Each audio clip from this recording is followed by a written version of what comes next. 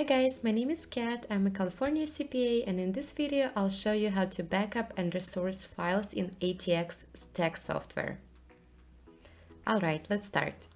So we'll start by opening the um, ATX and when you open ATX we'll go to, there's two ways to um, backup the files. First of them is if you, you have to double click on the tax return, go to returns, backup, and then basically you have to choose like this tax return and backup.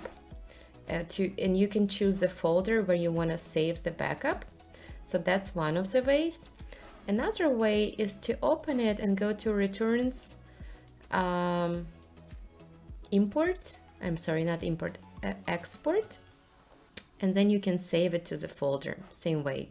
So it will save in ATX export type of the file. And after you save it,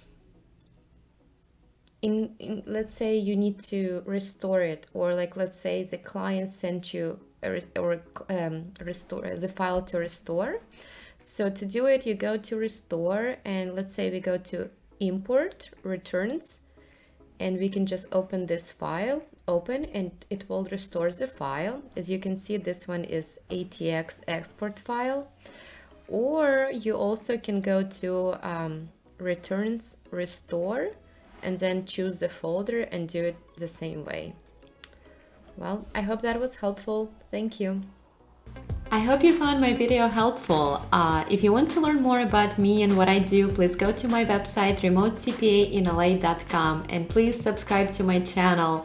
It means still a lot to me when people comment or subscribe to my channel. That makes me want to continue and record more videos. Thank you and have a great day. Talk to you soon. Bye.